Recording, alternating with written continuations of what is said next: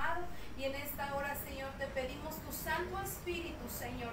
Tu Santo Espíritu, tu Espíritu Santo que es poderosísimo, Padre, sea moviéndose en este lugar, Padre nuestro, en esta nuestra iglesia, Padre bendito, en este nuestro lugar de reunión, en este lugar, en medio de nosotros y dentro de nosotros. Padre, tu Espíritu Santo fluye ahora en este momento, en nuestras vidas, en esta hora, en esta reunión, Padre nuestro. La ponemos, Padre bendito, en tus manos esta reunión. Te pedimos nos des descanso de nuestra alma, de nuestro espíritu y aún de este cuerpo físico, Padre. Toma el control, Señor, de todo cansancio, Señor. Toma el control de toda circunstancia que haya, hayamos hecho, toda circunstancia vivida en este día, Padre. En tus manos, Padre, Venga tu Espíritu Santo, Señor, y, dé esa paz, esa tranquilidad, Señor. En tus manos ponemos esta reunión, Señor. Y si alguien más eh, eh, quisiera y acudiera, viniera a esta reunión, Padre, quítale todo estorbo del camino, Padre bendito, y ábrele camino, Padre, a este, a este lugar, a esta reunión, Padre nuestro, para que estemos los hermanos juntos en armonía, morando en tu iglesia que tu bendición y Dios descienda en tu congregación en medio de nosotros. Bendice a mis hermanos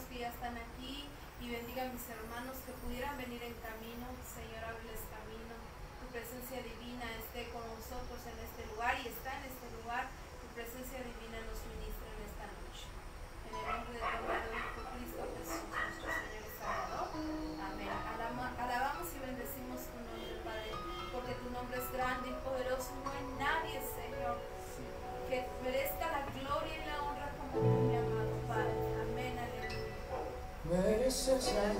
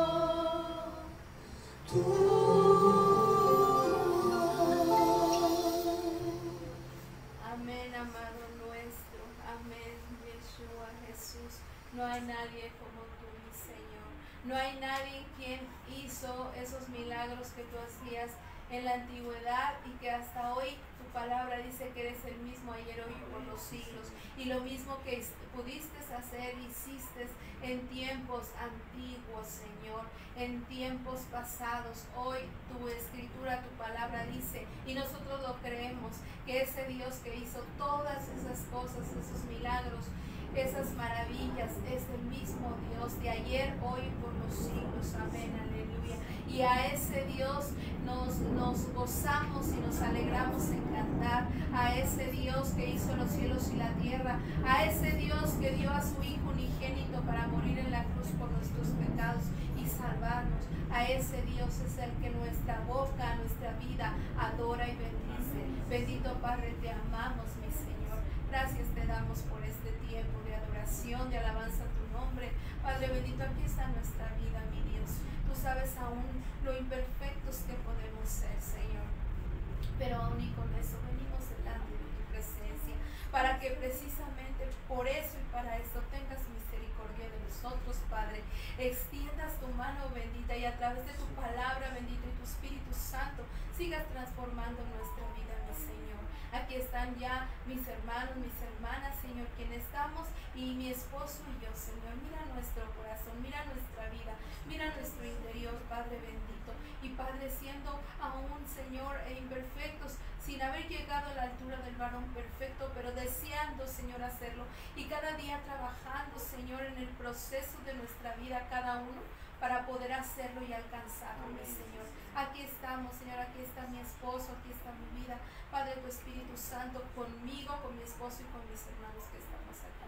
Padre, el poder de tu presencia y tu Espíritu Santo hable en nuestras vidas en esta noche.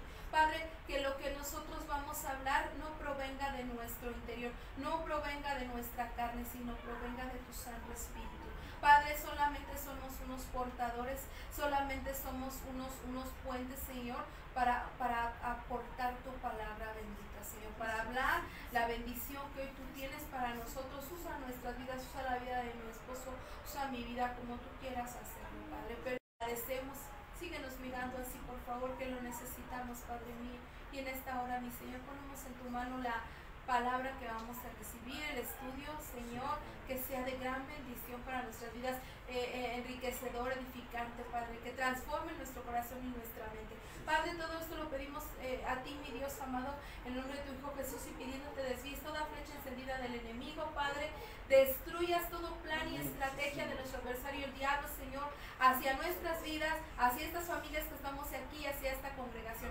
Padre, todo esto lo llevamos a tus benditas y poderosas manos para que tú, mi Dios poderoso, te hagas cargo y, bajo tu cobijo en ti nos refugiamos, Padre. En el nombre de tu amado Hijo, Cristo Jesús, nuestro Señor y Redentor. Tomar su lugar, hermanos. No sé si. ¿A qué, ¿En qué lo tienes? ¿En Facebook o en grabación? En Facebook. ¿Ya lo? Aquí está. A ver. Ah, bueno, ok. Pues este, Dios les bendiga, este, amigos y amigas de Facebook quien vaya a ver este video en algún momento o esté ahí conectado, pues bienvenidos sean a esta transmisión y a esta reunión de los días jueves jueves por la noche, 9 de la noche, reunión, estamos teniendo estudio para matrimonios. Dios les bendiga grandemente. Si en este momento alguien estuviera conectado, el Señor les bendiga. Si en algún momento verán este, este video, esta transmisión, pues Dios les bendiga también. Son bienvenidos a esta reunión. Y bueno, vamos a comenzar nuestro siguiente tema de matrimonios el día de hoy. Este, vamos a ver, el tema es...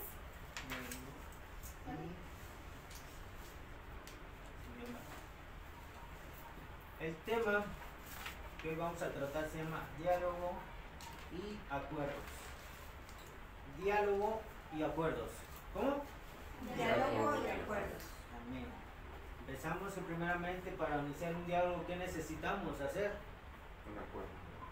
Un acuerdo, pero tenemos que usar qué? El diálogo. Palabras. El Y diálogo. esas palabras tienen que ser adecuadas para llegar a un buen diálogo y después llegar a un buen Acuerdo. ¿Estamos de acuerdo? Amén. ¿Sí? Muy bien. Entonces, la importancia de la comunicación en el matrimonio es esencial. Esencial. como lo es nosotros con Dios Todopoderoso. Es esencial. Si no, no va a fluir nada, nada estaría bien. Pero necesitamos una comunicación para estar bien, como matrimonio.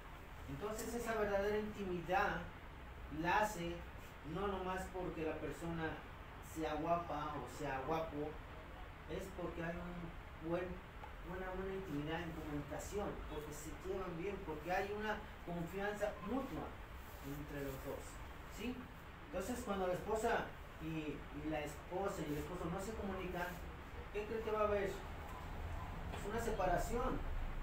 No va a haber nada de acuerdo si cada quien va a estar por su lado meditando sus cosas y no va a haber nada y esto no va a terminar bien. Así es. Amén. Lamentablemente así es. Sí. Y Entonces, es que, perdón, y es que, bueno, cuando, cuando estábamos en nuestros hogares, a lo mejor antes de casarnos, o por decir alguna tía, alguna abuelita, nos llegó, eh, llegamos a escuchar de esa persona que nos decía, no, y cuando estés en el matrimonio lo principal que tiene que haber es buena comunicación. Y nosotros como que enfocamos buena comunicación. Ah, buena comunicación, ok. Me decían que tenía que haber buena, comunicación en mi matrimonio y como que decimos, ya con que le diga a es- el esposo, ya por la mañana, ya me voy, amor. Ah, sí, que te vaya bien. Y regresa y, este, ¿cómo te fue? Bien. Y creemos de alguna manera que ese ya es un diálogo, que estamos teniendo una buena comunicación. Y el tener un diálogo y una buena comunicación, querida iglesia, va mucho más allá, porque hay que profundizar, porque estamos de acuerdo que si no hay un buen diálogo y una buena comunicación, eso nos va a llevar a conflictos, eso nos va a llevar a problemas. ¿Por qué? Porque si el esposo a lo mejor está pensando de una manera y la esposa de otra, y hubo un corto y pequeño diálogo, pero no hubo un profundo y abundante diálogo, no vamos a llegar a ningún lado. ¿Por qué? Porque va a ser, este, oh, es que por la mañana tú me dijiste que íbamos a ir, no sé, al súper. Y sí, sí, ok, y el esposo llegó a la mejor a las 5 de la tarde por la esposa al súper, pero el acuerdo era que llegara a lo mejor, por ejemplo, a las 7 de la noche.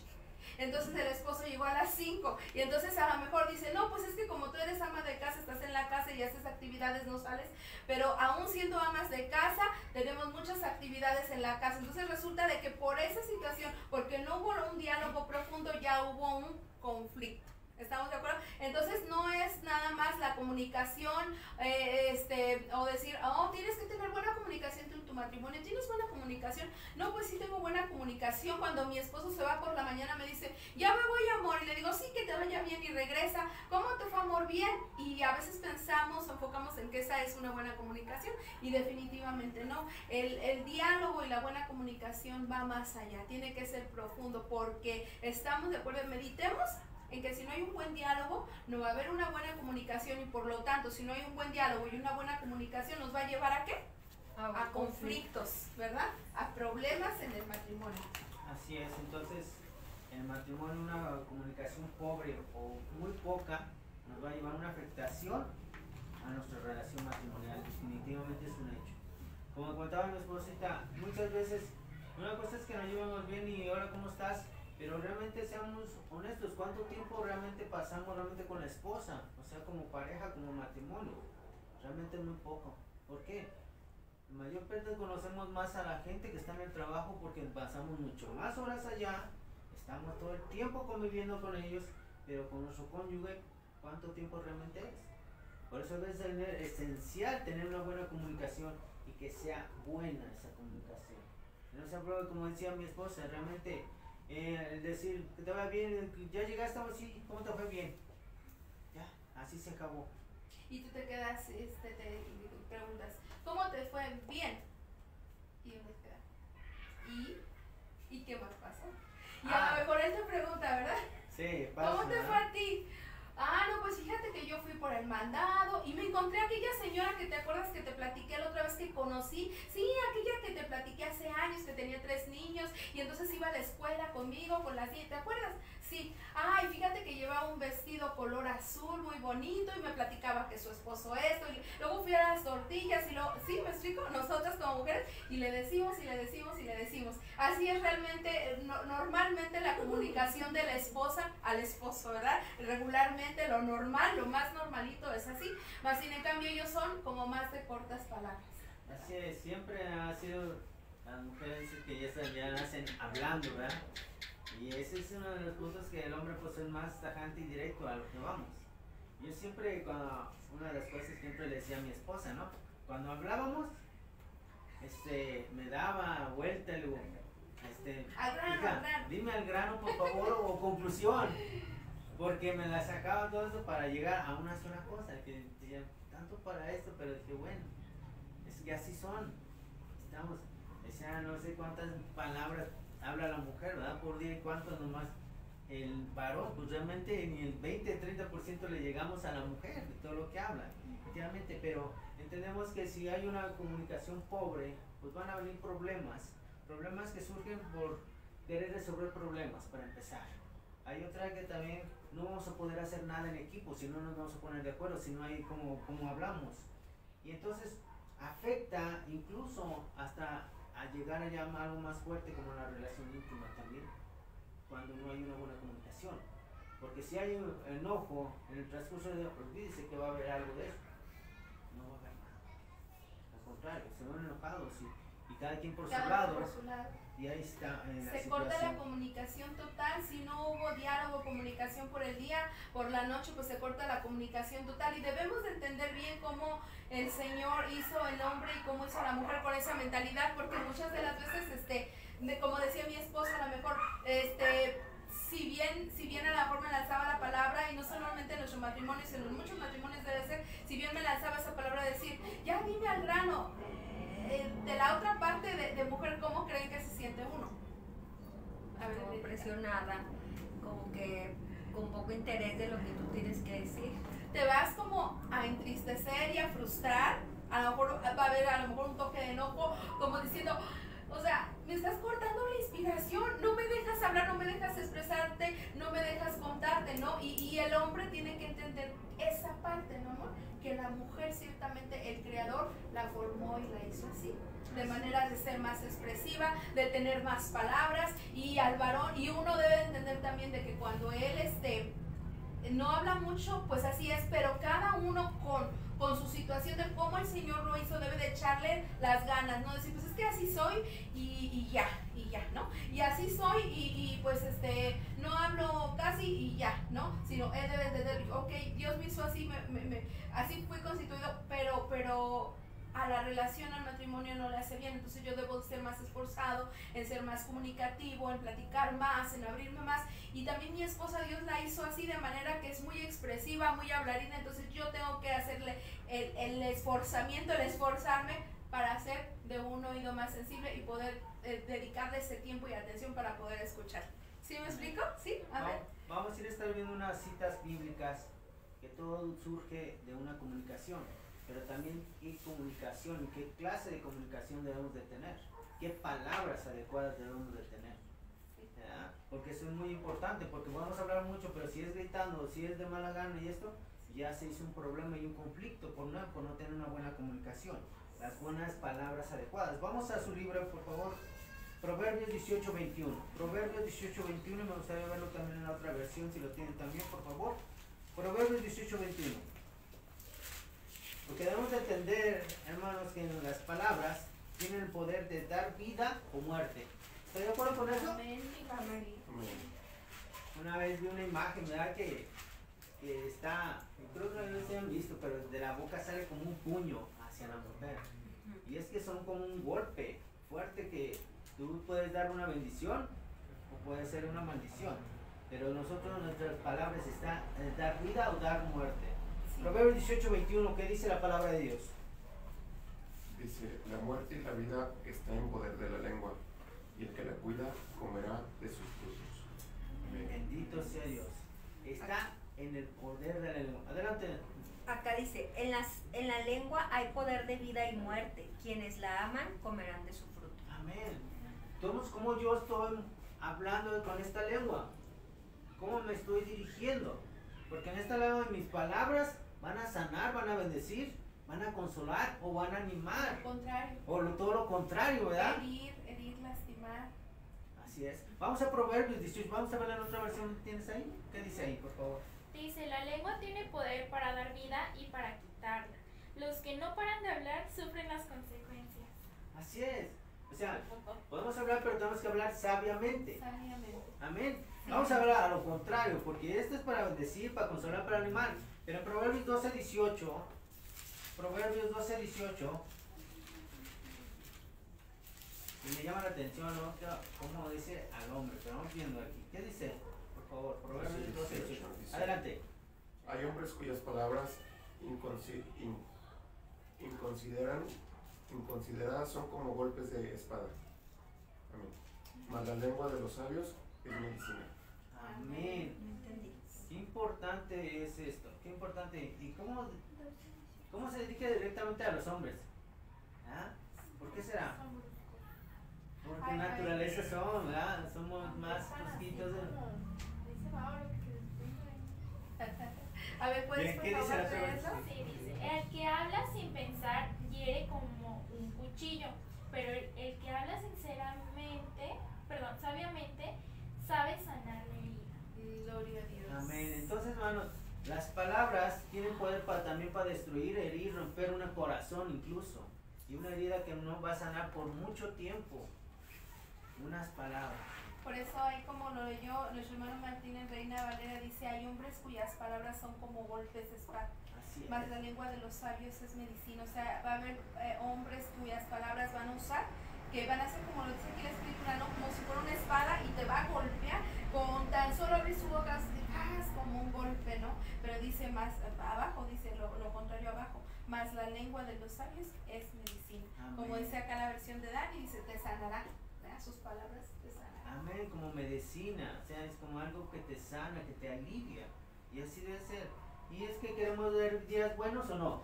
Amén. Amén. ¿No los oigo? ¿Queremos ver días buenos? Amén. Amén. Claro que sí. Vamos a Pedro, por favor. Primera de Pedro 3.10.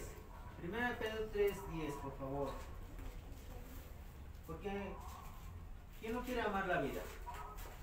¿La amamos? Amén. Bueno, vamos a ver qué dice aquí la palabra de Dios. Adelante. ¿Quien la tenga? ¿3.10? Sí, favor. Primera de Pedro 3.10. Porque el que quiere amar la vida y ver días buenos, re- refrene su lengua de mal y sus labios no hablen de. Amén. Sea Dios.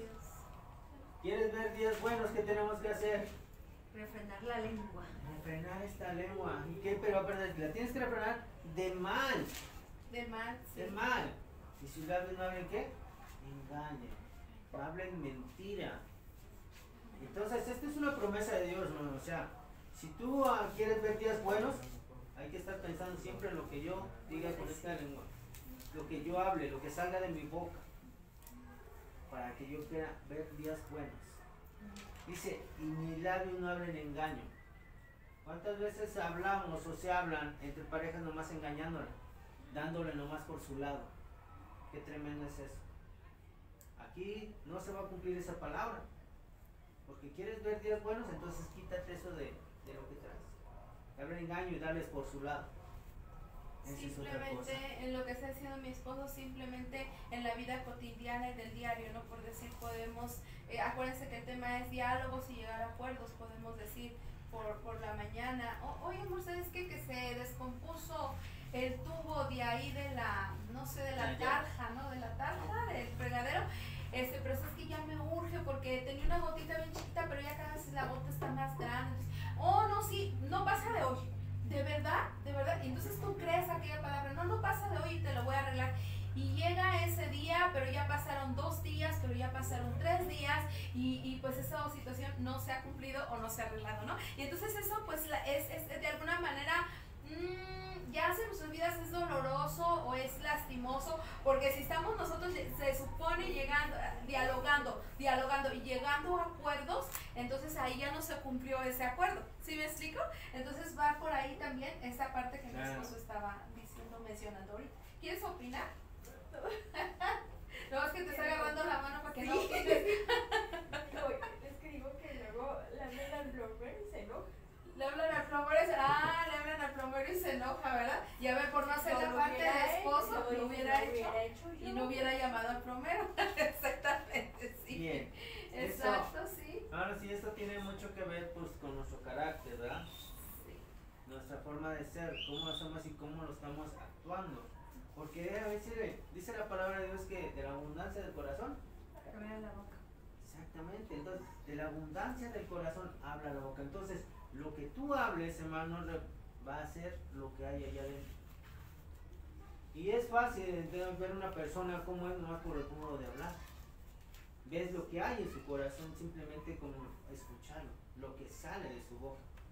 Amén. Entonces una persona es irritable, enojona, amargada, enojada, pues lo vamos a ver. Lo contrario también vamos a ver cuando una persona se ve feliz. ¿verdad? Cuando tiene, está tranquila, que está, tiene paz. Pero todo lo contrario vamos a ver cuando se expresa. ¿Es así o no? Entonces, bueno, lo que va a romper la, la intimidad o la comunión, el estar practicando una persona con, una, con mi pareja, va a ser un enojo. Porque lo primero que hacemos, ¿qué es que lo que hacemos? Dejamos de hablar. La manera en cómo nos comuniquemos, la manera en cómo nos expresemos, como lo bien nos, lo hemos estado leyendo en estos proverbios, o va a dañar la vida, el corazón de nuestro cónyuge, o va a edificar y lo va a bendecir y lo va a sanar. Y, y e- eso, eso es importante, esa parte, la manera como, nos, como hablemos y nos expresemos, y la parte también de, de eso, de lo que mencionábamos, de llegar a acuerdos, es lastimoso o es hiriente cuando se supuestamente se llega a un acuerdo, se acuerda algo y no se cumple. En el área que sea, porque ahorita yo puse el ejemplo que si de la gotera de la tarja, ¿no? Pero puede ser en multitud de cosas, en infinidad de cosas, en infinidad de cosas que aparentemente llegamos a acuerdos, pero no se cumplen. Entonces, Así cuando es. eso pasa, eso trae heridas a la- al corazón, ya sea del hombre o de la mujer, y eso va a lastimar el matrimonio. Así es. Y pues hay en nosotros engaño y no debe haber eso, porque si estamos engañando a prójimo, pues también estamos haciendo que también nuestro espíritu se contriñe contra nosotros mismos. Vamos por favor a Efesios 4. Efesios 4, 25, por favor.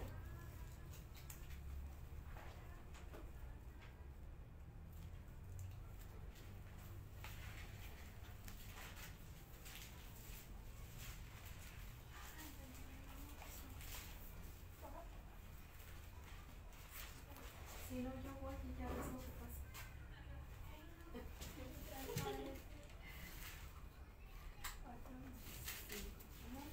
¿Qué dice el 425, hermano? Dice, por lo cual, desechando la mentira, hablar verdad cada uno con su prójimo, porque somos miembros de uno, somos miembros los unos de los otros. Amén. Entonces la palabra dice, por lo cual desechando toda mentira. O sea, no hay mentiras pequeñas, ¿o sí? No. Lo que es mentira es mentira. Lo que es pecado es pecado. Pero es mentira como si dijera yo también lo del robo.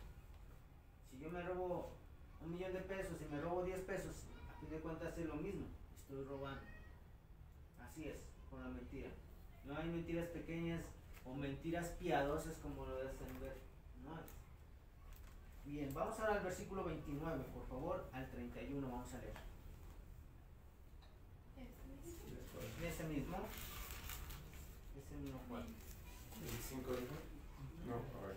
Del 4, capítulo 4, versículo 29 al 31, por favor. Ujú. De ese mismo donde estamos, pero en el 29. Así dice. Eviten toda conversación obscena. Por el contrario, que sus palabras contribuyan a la necesaria edificación y sean de bendición para quienes escuchan.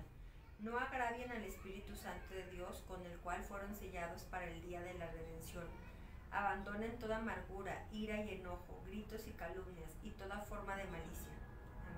Amén. Amén. Dios. Entonces nuestras palabras dice que ser más bien tienen que ser ¿qué? De bendición. ¿Para quién? Para aquel que nos está oyendo. Entonces en nosotros no debe caber eh, en hablar, por ejemplo, en doble sentido, en hacer otras cosas que, ya, que sean las palabras Que haga sentir- saludables, Que haga sentir mal a la- sanas, que exactamente. ser que haga sentir mal a la- Esas palabras deben quitárselas de nosotros. Amén. Yo ah, antiguamente tenía mucho eso, pero yo le hacía muchas bromas a mi esposita. Que ya después le decía era broma, pero de todos modos, de alguna manera él también estaba yo. Sí, participando de eso, sí. Así sí, sí, era cuestión de que él me decía, sí, como dice él, alguna broma. Y en este momento no me acuerdo cómo, cómo podría sacarlo con mis palabras para expresárselo. Solamente me acuerdo que siempre eh, en algo que él se expresaba de manera como él es, como hombre, y, y- yo no estaba así como que no, que me, no muy gustosa, no me gustaba, no estaba de acuerdo. Y entonces yo eh, me ponía triste, ¿no? Le ponía cara y decía, ay, no, pero ¿por qué me dices eso? Ay, no es cierto, no es cierto, es broma. Y pues de alguna manera para mí, pues este, es- era, era lastimoso, ¿no? Era, y sí, como que no me gustaba. Y sí, hasta el proceso del tiempo y de varios tiempo, pues fue entendido, Así es. ¿verdad? Que después Porque no- muchas veces no no puede más así que se ponía triste, sino luego se enojaba. Sí. Pero no, no, de verdad, no es, es broma, es broma. Pero Ese es otro tanto, motivo que te lleva al enojo. así es. Entonces, ahora, si queremos tener una, una buena comunicación en el matrimonio, tenemos que tener una conversación sana, agradable, ¿verdad? Dice en esta, en esta versión, ninguna palabra corrompida salga de vuestra boca, sino lo que sea buena Amén. para la, para la necesaria edificación a fin de dar gracias a los oyentes. Amén. ¿Hasta ¿Lo cuánto podemos ver hasta el 31? Y no contristéis al Espíritu Santo de Dios con el cual fuiste sellados para el día de la redención. El 31. Quítese de vosotros toda amargura, enojo, ira, gritería y maledicencia y toda malicia. Amén, gloria a Dios. Amén. Una palabra clave que también aquí nos habla, dice quítense de vosotros. Y, y me encanta, me, me, me encanta y me puede fascinar como dice también el 32, porque ahí Dios te está dando solución. Dice, antes sed benignos, o sea, buenos, antes sed benignos unos con otros, misericordiosos, perdonándonos unos a otros como Dios también nos perdonó a vosotros en Cristo Jesús. Amén. Y Hermoso. es una de las cosas. La palabra dice que no te enojes. No, Dios dice, te puedes enojar. Vamos al versículo 26 de ese mismo que estamos viendo, versículo 26. Si se enojan, no pequen. No permitan que el enojo les dure hasta la puesta del sol, ni den cabida al diablo. El que, el que robaba, que no robe más, sino que trabaje honradamente con las manos para tener que compartir con los necesitados. Amén. Airaos, ¿me puedo enojar por una situación, conflicto, lo que pasa? Sí, me puedo enojar, pero no tengo que pecar. Ese es un algo fuerte. Me puedo enojar, pero no tengo que pecar. Y esa parte muchas veces nos cuesta trabajo porque, Claro. por- o sea, hacerla, hacerla como en el orden de la Biblia lo dice, porque dice la escritura, lo que estamos leyendo, la palabra de Dios, te puedes enojar, pero no peques. Dios te está diciendo, airaos, pero no peques. Y eso para nosotros de naturaleza del ser humano es como que, pues este, es lo normal, no lo natural. Como ya me enojé, déjame le digo tal, tal, tal. O me enojé, déjale hago tal y tal y tal. Y la Biblia te dice, puedes enojarte, mm, coma, y tiene una coma, más no peques. Bien, ese mismo versículo nos habla también que no debe pasar más, más de un día a otro el.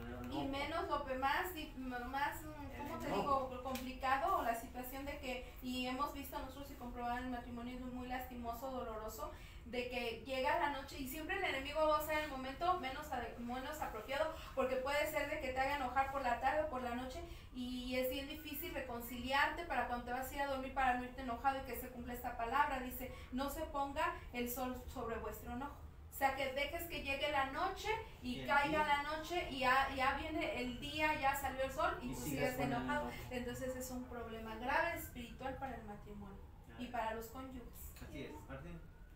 Sí, no, era la duda que tenía y, y, este, ya me la están respondiendo, sí, pues que no debemos de tardar tanto en el enojo. No debe pasar más de ese día. Ese día resulta para que no Para saber cuánto se tiene que enojar. ¿Como cuántas horas? Pero va, pero mira, vamos a ver qué dice en esa, en esa versión, Ale, por favor. ¿Por qué también viene también aquí la respuesta, preciosa palabra? El 26 nada más. Sí. Dice, si se enojan, no permitan que eso les haga pecar. El enojo no debe durarles todo el día. Así es. Sí, Amén. Entonces la respuesta la palabra de Dios, vamos a Proverbios 15.1. Proverbios 15.1. Y ahí es donde debemos de trabajar porque pues eso nos cuesta trabajo y debemos de ser honestos que nos cuesta trabajo. Y aquí está la respuesta a cómo tenemos que actuar. Proverbios 15, 1.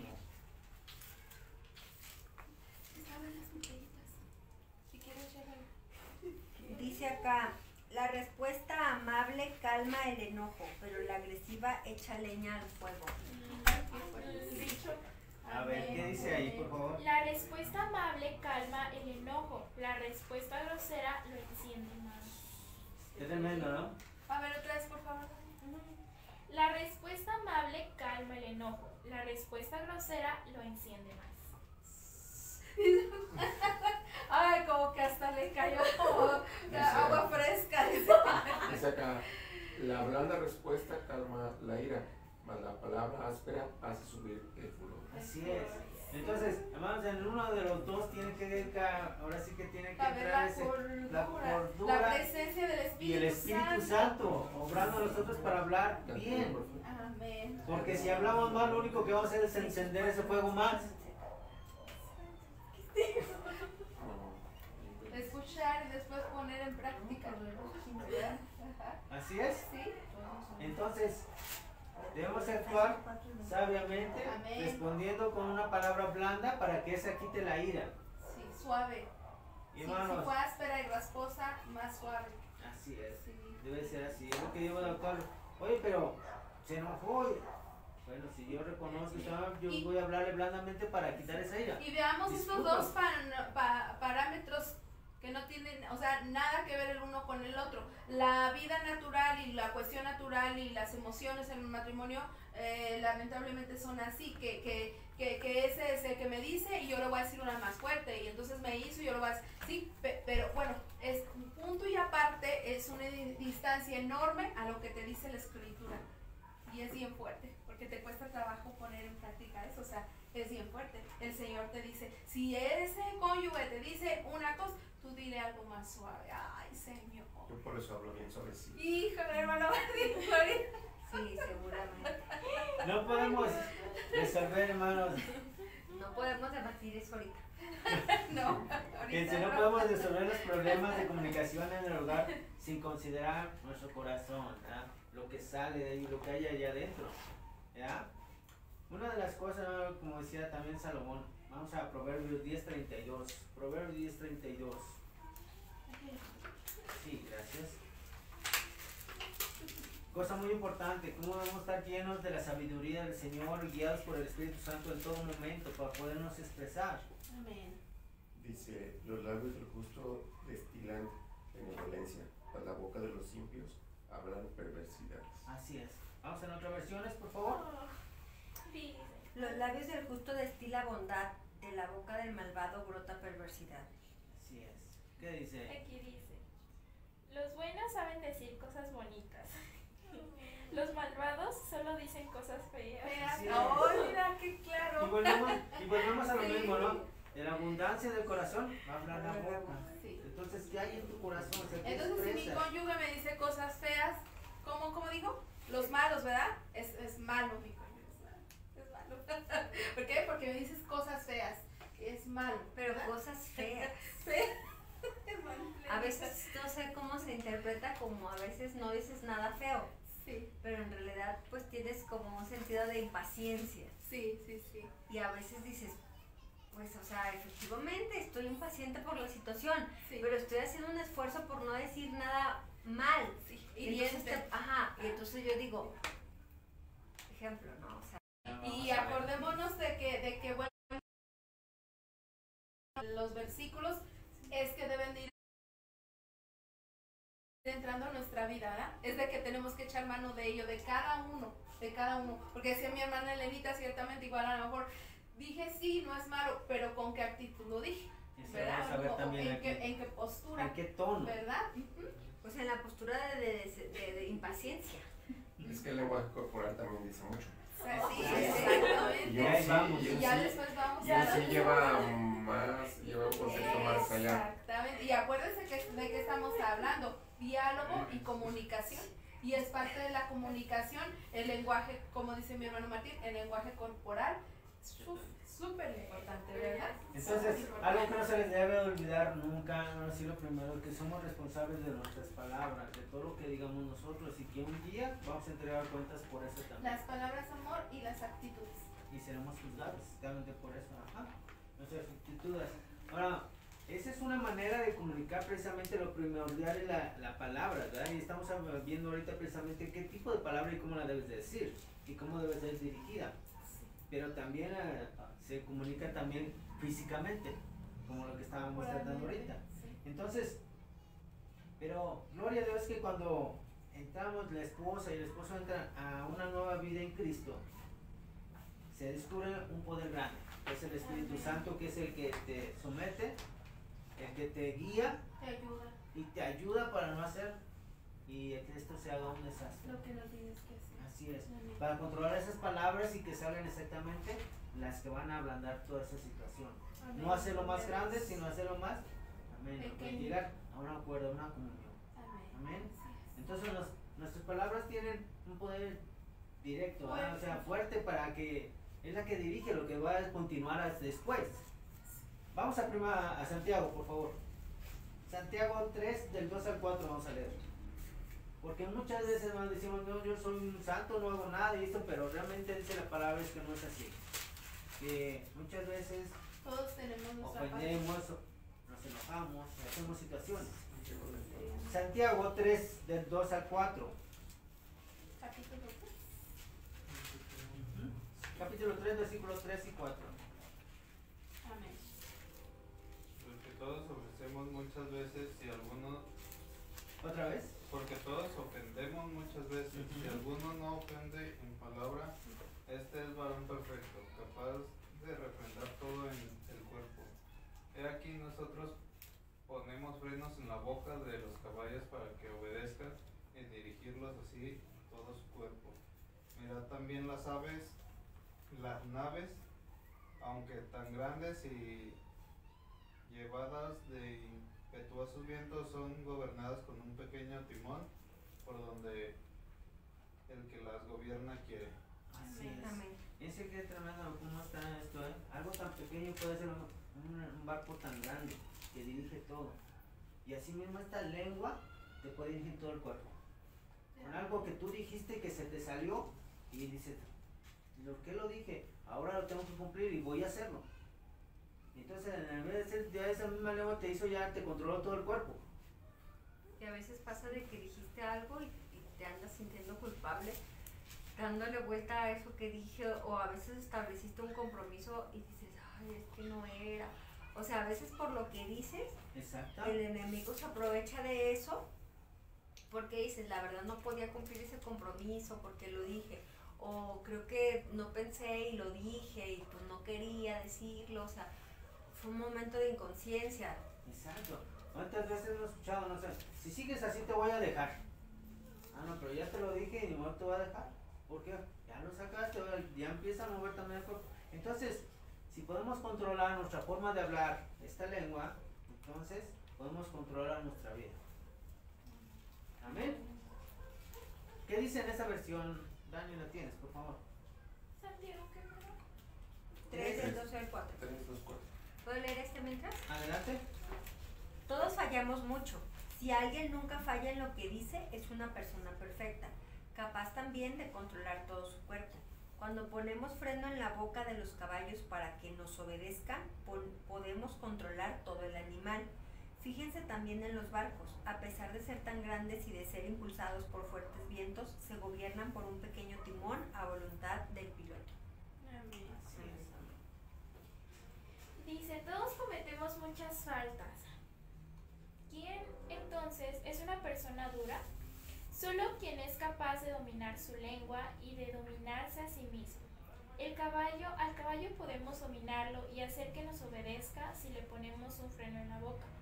Algo parecido pasa con los barcos. Por grande que sea un barco y por fuertes que sean los vientos que lo empujen, el navegante puede controlarlo con un timón muy pequeño. Y si lo mismo pasa con nuestra lengua, es una de las partes más pequeñas de nuestro cuerpo, pero es capaz de hacer grandes cosas. Es una llama pequeña que puede incendiar todo un bosque. Vuelvo a repetir, si podemos controlar nuestra boca, nuestras palabras, entonces podemos controlar nuestra vida y cómo nos va a ir. O sea, ya- como que no, no, no, esto mira. que estamos leyendo en Santiago nos está hablando la palabra de Dios.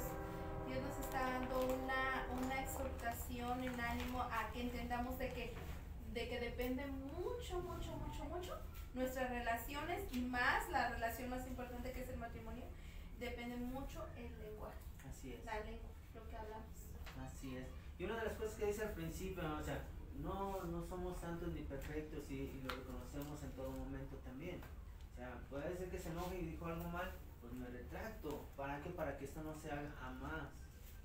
Pero dice ahí la palabra de Dios, porque todos eso perfeccionamos muchas veces. Si no es de pensamiento, es de palabra o de acción.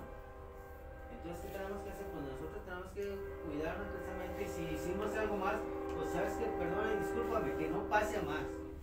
Ya leíamos un versículo, no me acuerdo en qué parte, y que de- de- decía abajo, decía, es demás al contrario siendo eh, mm, benignos, o sea, buenos, benignos, buenos y misericordiosos unos con otros. Pero muchas veces Satanás se encarga de hacernos pensar que en el matrimonio no debemos ser buenos los unos con los otros o tener misericordia el uno por el otro, no, sino que es que es que te dijo, es que te hizo, es que te, es que sí, y Satanás usa de eso para que entonces nosotros con el cónyuge, este, o sea, el varón con la mujer, la mujer con el varón, digamos esas palabras, ¿no? Hirientes y, y- y que entonces se lleve a más y sea doloroso. Y la palabra del Señor, aquí ahorita la acabamos de leer, dice, debemos ser benignos los unos con los otros, misericordiosos. Así ¿Puedo es. Adelante. Dice, la lengua es un fuego, un mundo de... Es. Muy peligrosa. por eso dice que debemos de ponerle freno a nuestra lengua. Amén. Y es que hasta en las mismas palabras, ¿no? Porque podemos decir muchas veces, si, si realmente me ama, me aceptará tal como soy. ¿Qué dirían ustedes? Diría, quiérete como eres, pero mejora cada día.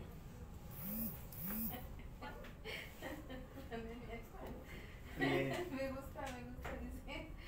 Sí, A ver, dile otra vez. Elena. Quiérete como eres, pero mejora cada día. mejora más cada día. Ujú. Amén. Yo decía en ese concepto también, decía, si realmente me amas, me acéptame como soy.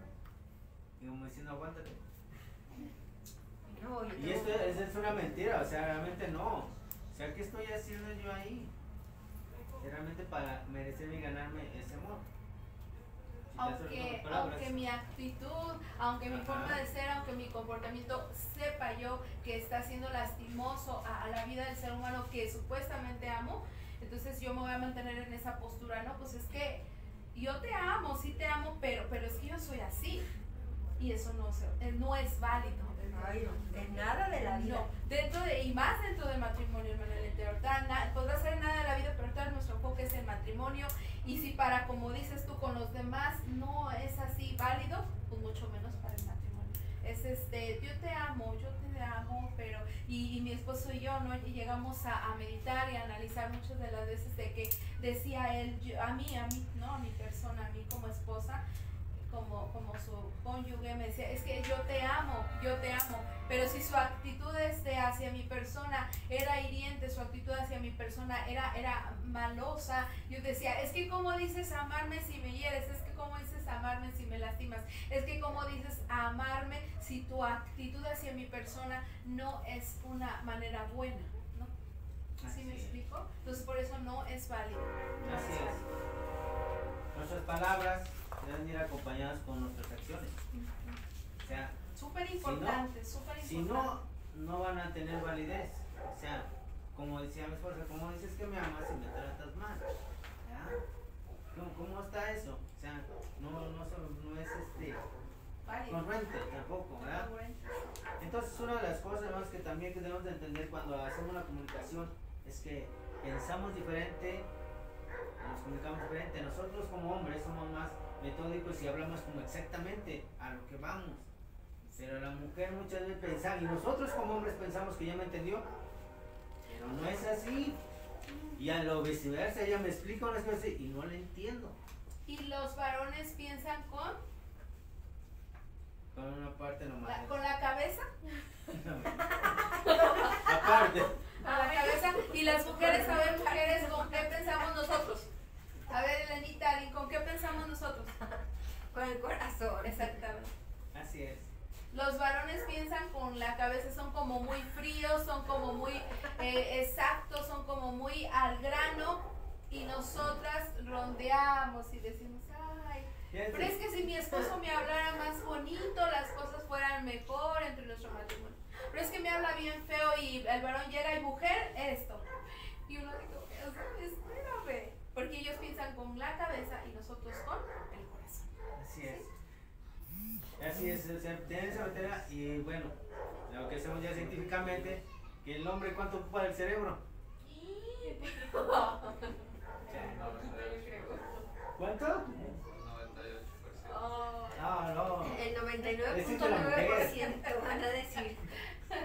Nada, realmente, realmente el hombre anda ocupándose cuando mucho el, me- el medio cerebro, la mujer anda ocupando el más, por eso tiene más. Más capacidad. Puedes hacer tres cosas a la vez y el varón puede hacer una cosa a la vez. Si el varón está frente a un televisor, se pone a ver el televisor y tiene el control en la mano. Lo único que esa persona, ese varón en ese momento quiere hacer es mirar la tele. Si tú le estás hablando desde la cocina y aunque tú eh, no te equivoques, mujer, porque si piensas que el varón este, te está escuchando y aunque te diga sí, mi amor, sí, mi amor, ya después cuando tú vas con él y dices, no te dije que eso, ay, mujer, pero si estoy viendo la tele. Así es de que no pensemos que van a poder atendernos, de que estemos en alguna parte de la casa y escucharnos y estar viendo el televisor, porque eso no puede ser así. Él se mete más con una cosa, podrá haber diferencia en varones, pero la mayoría de los varones son, me meto con una cosa y no puedo atender más. Y las mujeres puedes ir a la mejor manejando y en lo que está el acto te enchinas la pestaña y puedes voltear para ver para atrás, a ver qué está pasando atrás.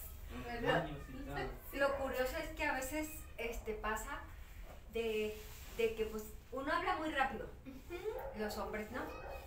Y entonces tú dices una cosa Sí. y ellos dicen, ah, sí, y luego hacen otra y tú, ¿por qué hiciste eso? Es que tú me dijiste y todavía alegan diciendo que tú le dijiste eso. Y en realidad es que no te pusieron atención. Exacto. Que- Y es ahí donde estamos ahorita mirando, se fijan, diálogos y acuerdos. Y yo digo, Sí. ¿quién tiene la necesidad? Yo. Entonces, ¿cómo voy a pedir algo diferente si conozco mi necesidad? Y esto es importante, el día que no- mi esposo y yo estábamos preparando el tema, decíamos, tenemos que decir esto en, en el, en el, en el, el tema, la clase para matrimonios, cuando tú dialogues, cuando tú trates de llegar a acuerdos, tienen que sentarse y mirarse a la cara y mirarse a los ojos. Así es, señor, ponerse una, a- unas declaraciones claras y directas. Porque muchas veces pensamos por sentado, ah, esto es lo que me dijo y ya. Pero muchas veces, me- a mí en lo personal me pasó muchas veces que yo me decía algo y yo ya me quedaba con eso, pero no era como yo lo entendí.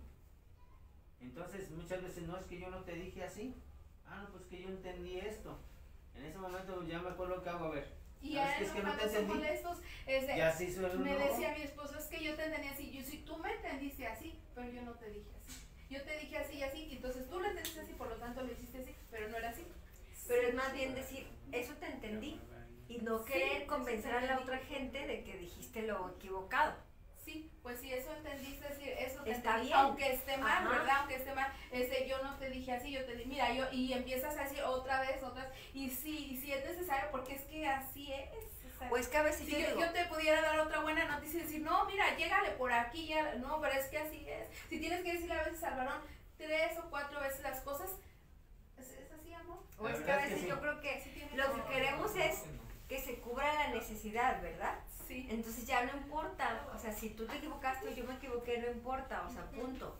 Si las cosas no se hicieron, pues hay que hacerlas como ya van, en Sí. lugar de querer convencer a la otra persona Sí. De, que si era de así. que si era así, tú Ajá. me que, dijiste. que tenía la razón a Ok, así como de que- que, ok, no, no era así, pero bueno, hay que hacerlo bien como es. Pero es que me dijiste, oh, tú así de, oh, bueno. Bueno, pues". Vamos a Juan Llegar a 6, 12, acuerdos. por favor. Juan y 6, 12 y acuerdos. vamos con ese de terminar. Yo creo que vamos a hacer en dos partes porque todavía falta. Sí, todavía falta bastante. Juan este, 6:12. Fue el tiempo. Está bueno, pero. Tenemos que entender esto muy bien, lo que estamos hablando ahorita. Juan Puro Juan, ¿ah? 6, 12, por favor. 16, 12 de San Juan. Capítulo 16, 12, por favor. Esas son palabras más de Jesús. ¿Seis o seis? 16, 12. Sí. Aún tengo muchas cosas que decir, deciros, vencidos, pero ahora no las podéis sobrellevar. Así es. Y esas son palabras de Jesús a sus discípulos. A ver, déjame la otra versión, por favor. Muchas cosas me quedan aún por decirles, que por ahora no podrían soportar. Así es. Eso nos dicen ustedes a nosotros. ¿ah? Ahorita. A ver. Dani, déjalo ahí, por favor. 16, 6. Ujú. Sin embargo, ah, 16, 12. tengo mucho que decirles, pero ahora no podría entender. Así es, hermanos. Mismo Jesús eh, a sus mismos discípulos, que pasó tres años con ellos, todavía decía, hay mucho que les tengo que decir, pero todavía no lo puedo decir porque no me vas a No van a entender. entender. ¿Qué tiene que qué hizo Jesús? Pues entonces buscarle el lado para darle las palabras adecuadas para que entendieran. Ese es el mismo ejemplo que tenemos que tener nosotros. Yo como esposo tengo que ver esas palabras adecuadas para que ella me entienda. Porque si yo le hablo de otro a mi manera como yo lo entiendo, no me va a entender. Y viceversa, Y igual la viceversa. mujer se debe de esforzar a, a tratar de entender ese mundo. El varón se debe de esforzar, ser esforzado a entender cómo un poquito más vemos nosotros las cosas y las pensamos y viceversa nosotros también empezar a descubrir más cómo el... Porque esto de, de, de, mira, de tantas veces que te pasa de una a otra y otra, ya vas empezando a entender y decir, ah, yo, yo como por decir con mi esposo, ah, ya sé, me entendió así, me entendió así, y yo le digo, ya viene y me dice ya, "Mm, yo sabía que habías entendido así, tú me entendiste así, no, es que era así, así, así, ¿sí me explico? Gloria a Dios. Entonces debemos entender cómo buscarle y esto solamente con la ayuda del Espíritu Santo. Y con la ayuda de Dios. Porque solo dice su palabra, fuera de él no podemos hacer nada. Solamente con la ayuda de él para podernos entender. Aún pensamos que ya nos conocemos, ¿no? aunque ya llevamos años conociéndonos, pero realmente no nos conocemos totalmente. Y como vamos creciendo, vamos cambiando también. Y si nos dejamos de hablar, de dejar esa comunicación, pues ¿qué va a pasar? Va a haber un alejamiento que después vamos a decir, oye, yo no te desconozco. O a veces el varón considera que no decir las cosas es mejor. Ajá. Y entonces tú dices, ah, ok, pues si no decimos las cosas, ¿a dónde vamos a llegar? Y ese es ¿A un, dónde un vamos gran, a parar? ese es un gran problema porque cuando uno calla, Sí. pues le hace pensar a la persona que está bien y que no pasa nada. Pero cuando ya esto se junta más, pues ¿qué va a pasar? Diálogo, diálogo corporal del pastor anteriormente, que para la próxima se los vamos a contar. Sí. Para el siguiente episodio, ¿verdad, mi amor? Amén. Sí, vamos Gloria a a Dios, vamos a orar, Vamos a vamos orar. a darle gracias al Señor. Amado bendito Padre, amoroso Señor, gracias te damos en esta hora, mi Dios, por este tiempo que nos diste de estar, Señor, meditando en tu palabra, Señor. Y, yo creo que pensando en los problemas cotidianos de la vida, en, en- las circunstancias, en las cosas que pasamos como matrimonio, pero tu Espíritu Santo mano, eh, tu Espíritu Santo echa mano de eso para edificarnos, para transformarnos, para construirnos, para enseñarnos, para crecimiento, Señor, para, para ver que a través de, de, de la vida cotidiana que tenemos y los problemas en tu palabra bendita encontramos poderosas, poderosas respuestas, Señor, a nuestras actitudes, muchas veces a nuestras palabras, muchas veces, Señor. Y tu palabra bendita hoy nos dice, airaos pero no pequéis, no se ponga el sol sobre vuestro enojo ni deis lugar al diablo. Y tu palabra bendita hoy nos dice, Señor, que muchas de las veces las palabras son tan hirientes, Señor, que son como un golpe de espada, Señor. Y tu palabra hoy nos dice, Señor, que si la palabra es irritante, es ruda, Señor, nosotros tenemos que esforzarnos a contestar con una palabra más suave, Señor. Tu palabra es bendita y es edificante, Señor. Y nos muestra, Señor, en este tiempo que estuvimos este, charlando sobre estos, ah, estos problemas cotidianos de la vida del matrimonio, Señor, que, que pasamos, que vivimos, Señor. Que a través de tu palabra bendita encontramos, Señor, mi Dios, mil respuestas buenas, Señor, que nos pueden transformar y edificar nuestra mente, nuestro corazón, nuestra vida y nuestro matrimonio. Y te damos gracias por ello, Señor. En tus manos ponemos la vida, Señor, de los que aquí estamos para que tú nos bendigas grandemente, Señor. Nos sigas instruyendo, nos instruyas.